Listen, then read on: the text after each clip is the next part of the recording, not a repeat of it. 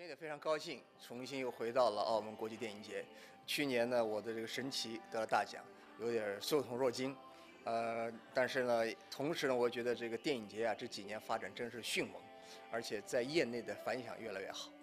呃，这次呢，颁这个微电影大奖啊，呃，一个呢，因为跟我来讲的话，这是一个其实也挺重要的一个事情，因为我现在在上海戏剧学院电影电影学院在做院长嘛，就是一直在关注微电影这块的发展。同时呢，我就是不久前给上海宣传部就讲了这个微电影是如何起源的。今后怎么发展？其实微电影最重要的一点就是麻雀虽小，五脏俱全。所以一句话嘛，叫见微知著，对吧？虽然小，但是小的东西，并不是说你就可以门槛低了，你质量就不讲究了。越是小的东西，实际上是难度越大。这和整个社会的发展，跟我们网络世界、数字世界整个的发展是息息相关的。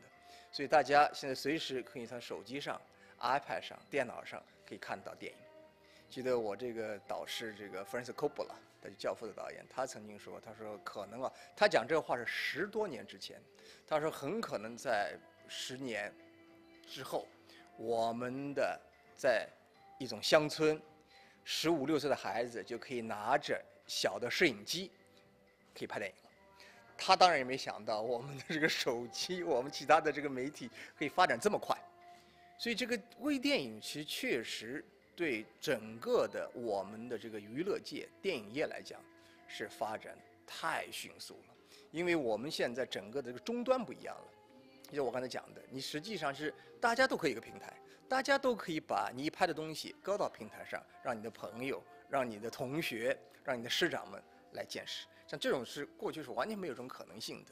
所以碎片化的生活。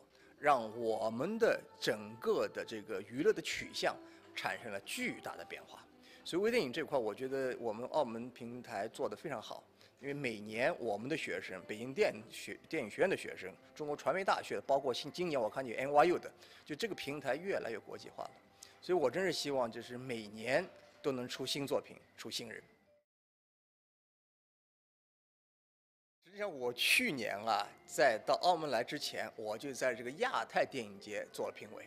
其实也就是选作品，选好的作品。但这个时候呢，我也在筹备我的《上海王》，因为《上海王》是根据红影的小说，我是在十年前就买下它的版权，那么一直等于是 断断续续筹备了十年，就是在今年的年初一月八号开拍了。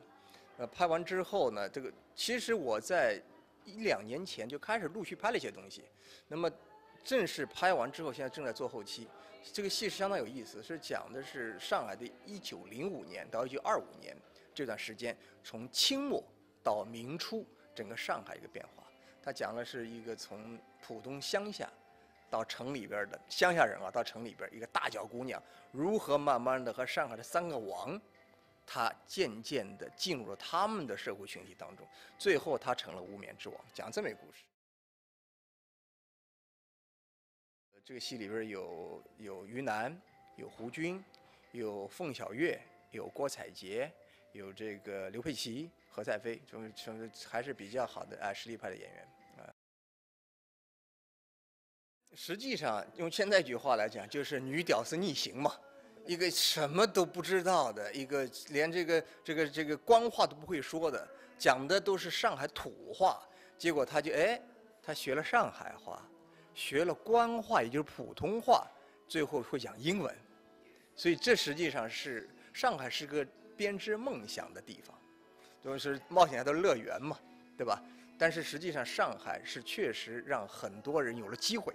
其实今天也是一样，上海为什么现在是这么多的这个中国人、外国人聚集在上海？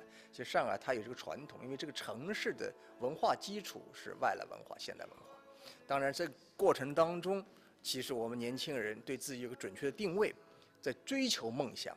其实我一直觉得这个所谓中国梦，它不是句空话，它实际上就是各每个人心里边有个目标，要实现自己的目标，同时他对社会要有自己的奉献，对吧？